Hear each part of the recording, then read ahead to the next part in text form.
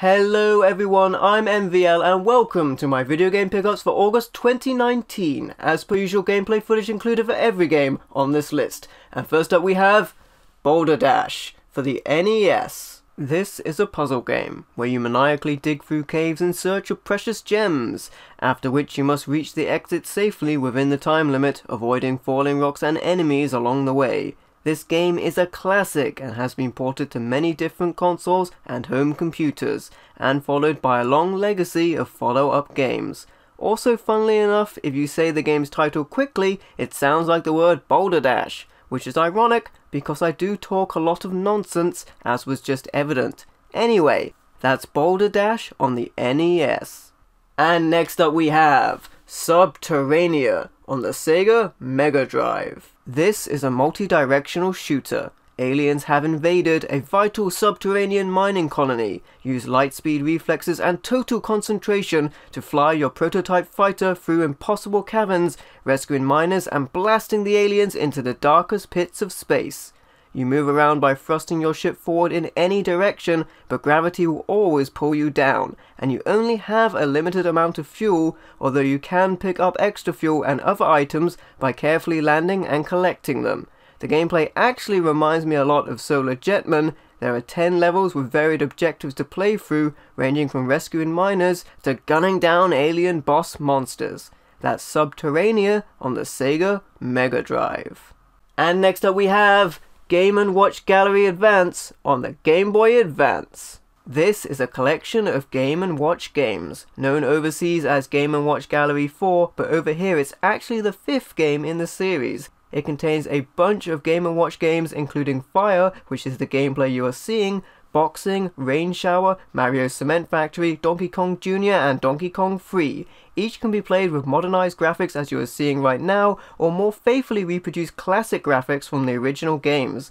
There's also extra unlockable games including Mario Bros, Donkey Kong, Octopus, and Fire Attack which can be played with modern and classic graphics, as well as the following unlockable games which feature classic graphics only, including Manhole, Tropical Fish, Mario's Bombs Away, Parachute, Bomb Sweeper, Climber, Safe Buster, Lifeboat, and Zelda. That's the Game & Watch Gallery Advance on the Game Boy Advance.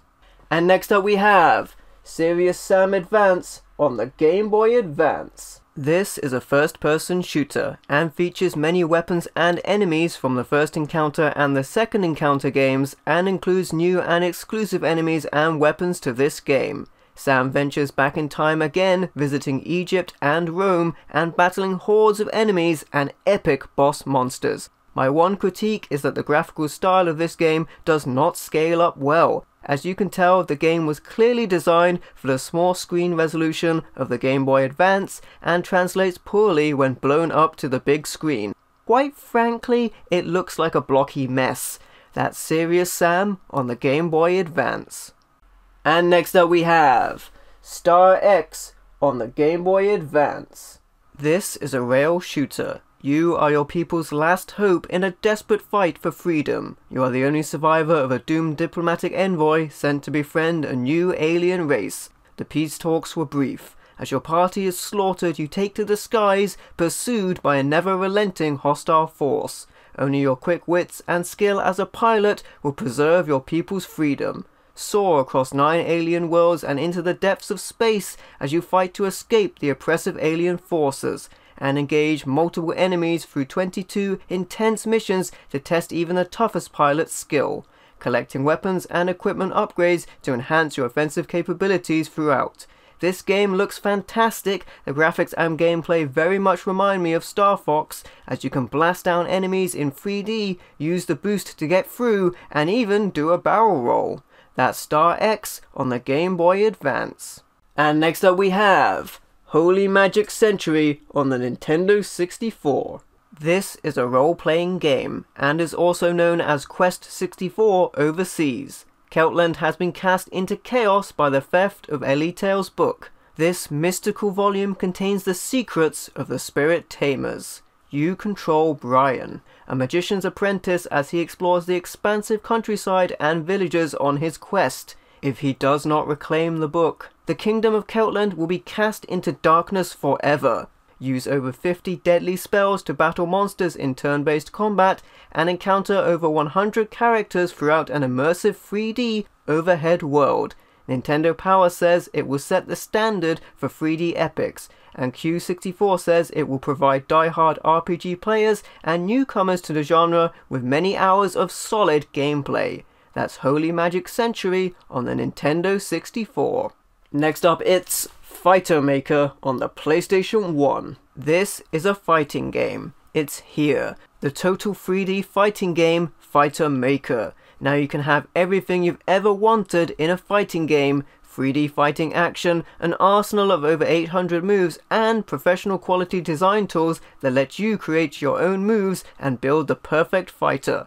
Fighter Maker puts you in control of every frame of animation, every move, sound, visual effect, and camera angle as you design your custom fighter from wireframe character to unstoppable fighting machine. When you think you're ready, save your creation to a memory card and take on the world. The game also includes 20 pre-made fighters ready to play or create your own, because great fighters are made, not born, in Fighter Maker on the PlayStation 1. And next up, it's Heart of Darkness on the PlayStation 1. This is a cinematic platformer. Hidden away in the heart of darkness lies a terrifying world a world ruled by the Master of Darkness, whose cruel and absolute power leads an army of emaciated devils. This fiendish force scours the land in search of Andy, a young boy on a quest to rescue his dog Whiskey. Trapped in a terrifying nightmare, only you can take Andy through hundreds of epic encounters to overcome a whole host of wonderfully weird characters and emerge triumphant from the heart of darkness. The game boasts 176 locations and over 50 minutes of seamless film action as you climb, swing, twist, and swim around 8 worlds of stunning environments packed with puzzles and fiendish traps. The game was developed by the creators of, and very much reminds me of, Another World. That's Heart of Darkness on the PlayStation 1. Next up we have Power Rangers Super Legends on the PlayStation 2. This is an action adventure game. The game lets you play as one of 20 Power Rangers from various TV series, where you can face off against and defeat powerful boss villains and even battle in monumental Megazords. You can also join forces with a friend in two-player mode as well. The gameplay is a mix of platforming and beat 'em up action and I'd go as far as to call this a hidden gem. If like me, you love beat 'em up games, this is surprisingly good and reminds me a lot of Power Rangers on the Super Nintendo.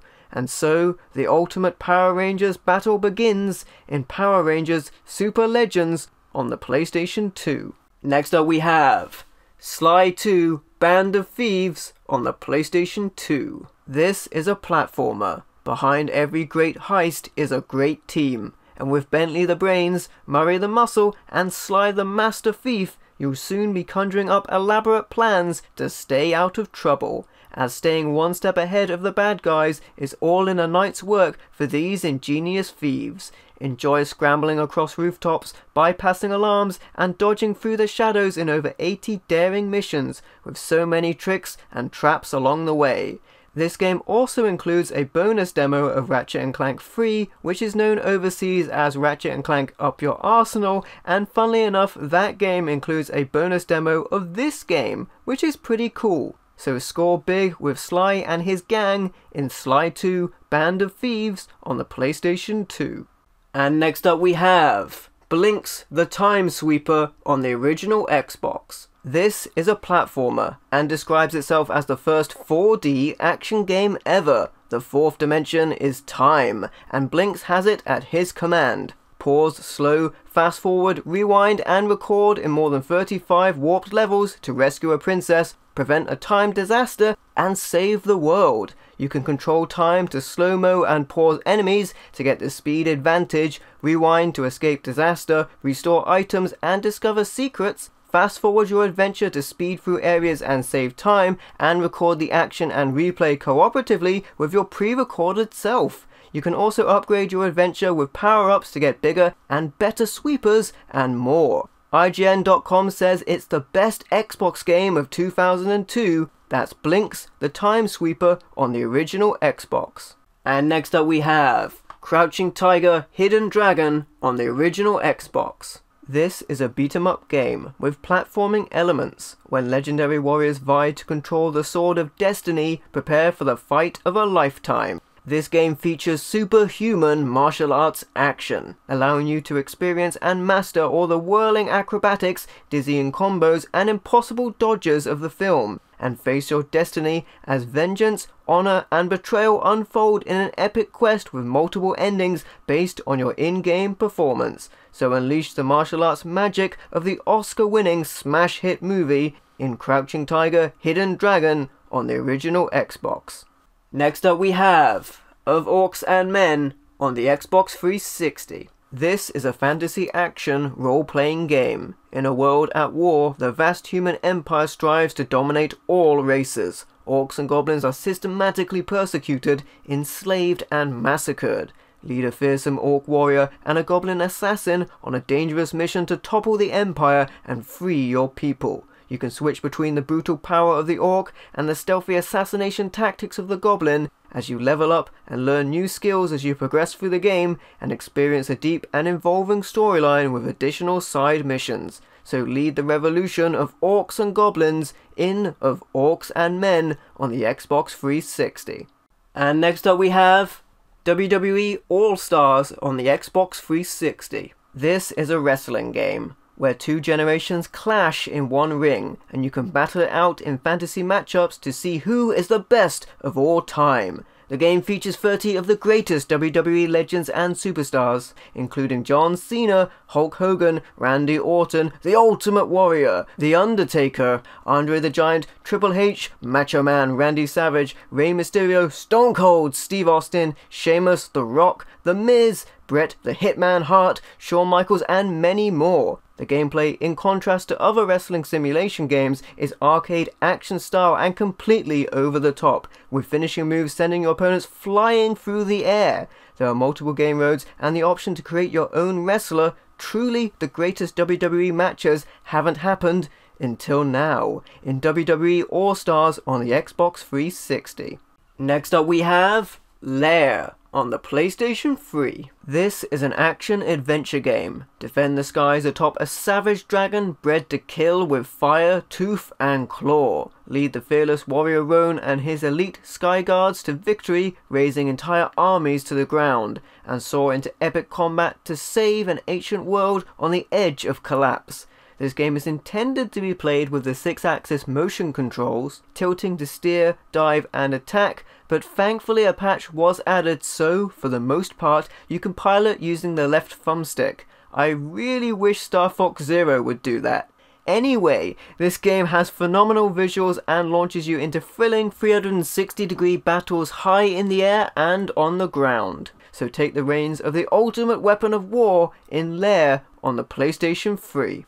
And next up we have Soldner X2 Final Prototype on the PlayStation Vita. This is a shoot 'em up game and had a limited physical release which I got from Play Asia. You travel to Gorta 4 as part of the Soldner X Defense Force and the rest of mankind will rely upon you to battle against new, mysterious foes. Soldner X2 Final Prototype delivers a shoot 'em up experience mixing classic gameplay with stunning audio visuals that will surely add hype to the gaming experience. The dynamic gameplay features include 10 action-packed stages, a powerful score-linked difficulty system, and a challenge mode that allows players to unlock bonus features and rewards.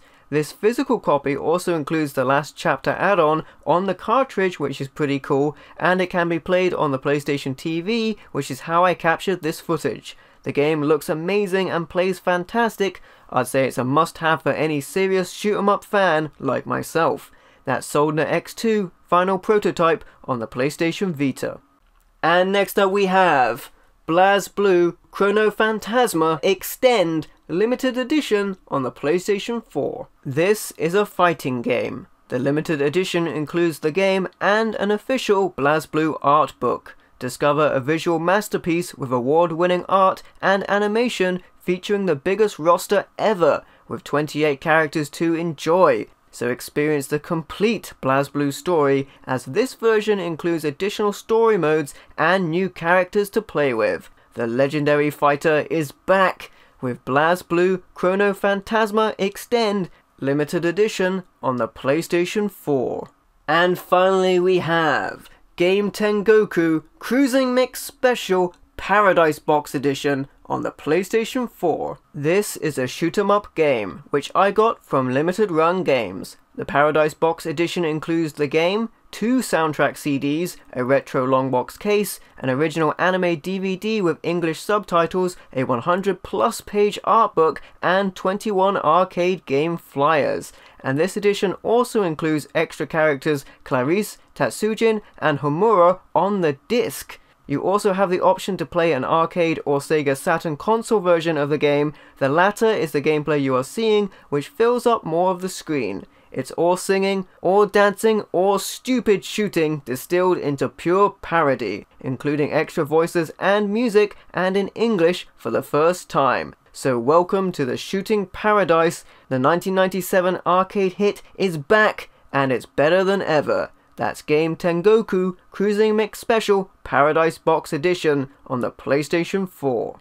And there you have it, those are all of my video game pickups for August 2019. If you like the video, please leave a like or comment to let me know what you think, and don't forget to subscribe for more awesome content. And if you'd like to, you can also support me on Patreon for as little as a dollar a month. Thank you for watching, I've been MVL, and I will catch you next time.